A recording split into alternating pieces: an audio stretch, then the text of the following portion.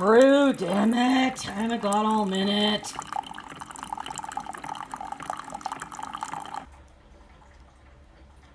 Oh god.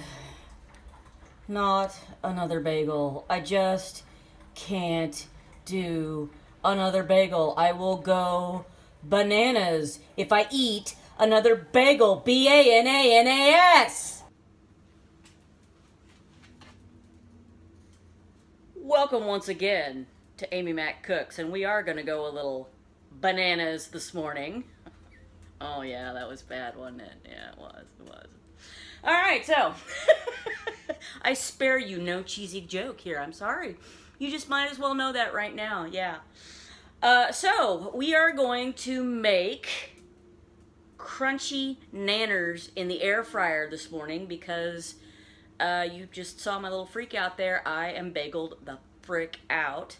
So why not air fry some bananas and have a lovely uh, fruity, banana-y, crunchy, warm, sweet breakfast. So let's get started.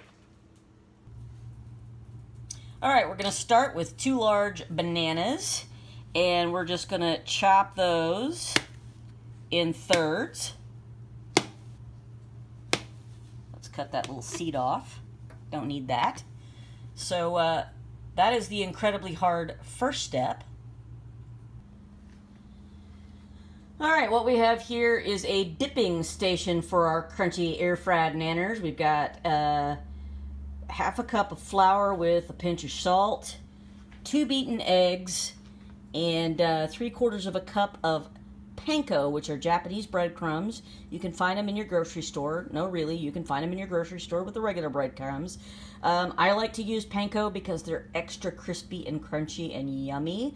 Um, and I also cook a lot of uh, uh, other fried meats with uh, panko, but trust me, you will love them. They are lovely, but if you so desire, you can just use regular old breadcrumbs, uh, but I would recommend not using the Italian seasoning ones because uh, those might taste a little weird. But hey, you do you. Whatever floats your boat. Uh, so let's start uh, dipping these nanners and get them in the fryer. All right, here we go. We're just to dip, roll our banana in the flour. Get it good and coated. Like so. And then we're to roll it in the egg mixture.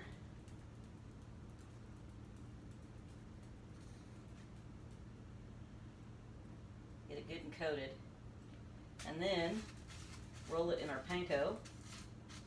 Once again, getting it good and coated. And then set it aside. Same thing with each item.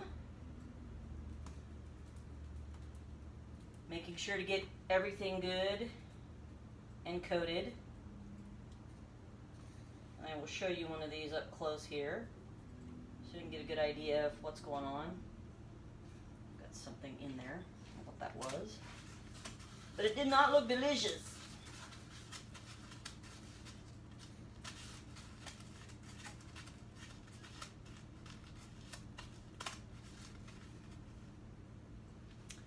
But yes, they should look like that. I will bring you back when we've got everything coated and ready to go into the air fryer. All right, now our bananas are all nice and coated with the panko and uh, the other fry mix stuff. So, so I'm going to totally miss them with the olive oil spray. So I'm going to get these good and spritzed. All right. That's the top side. Let's roll them over. We'll make sure we get all the sides of our nanners good and spritzed with our olive oil coating, or spray I should say, not coating. Don't forget to get the ends. This ensures that they fry up nice and crispy. All right, so now it's time to put them in the basket. All right, bananas are in our air fryer basket. I am now going to make sure it is seated properly. Pull back my guard. Put it in the air fryer. And then we're going to, oops, still learning this thing, set our time for eight minutes and our temperature for 360.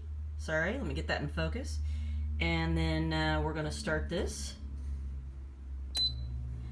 And at about four minutes, uh, we'll give it a shake and make sure that everything's cooking up nicely. All right, it's time to give our uh, bananas a good shake. They're looking really good. they're smelling really good. Just give them a good little shaky, shaky shake. Nah, they're good. All right. I was going to toss them with a spatula, but I think we are fine.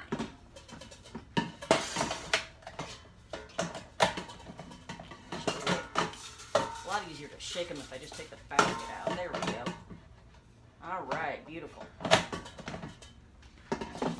In we go, and away we go. All right, I'll bring you back when we're ready to finish up. All right, our bananas are out of the air fryer, but I'm not content to leave well enough alone, so I am rolling them while they're still hot in some cinnamon and sugar. Because why the hell not? I mean, come on. Come on now. I mean, we want this to be a sweet, decadent breakfast. And y'all, these bananas, I wish you could smell how sweet and lovely they smell. And in case you're wondering, yes, I do have asbestos fingers. Um, I would recommend doing this with a fork. um, but yeah, I'm just going to uh, roll these beauties up in some cinnamon and sugar just to uh, make it that much sweeter and nicer. And uh, then we get to eat them. Here is our finished product. And uh, without further ado, let's taste them and see how they are.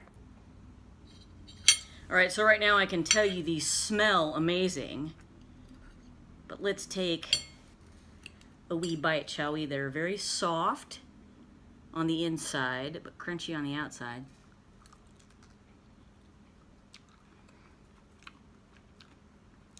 Oh my god, you guys. Totally got to try this. So good, so easy. Great breakfast, great dessert. And like I said, so easy. And just remember, if Amy Mac cooks, so can just about anybody else. Take care, and I will talk to you soon.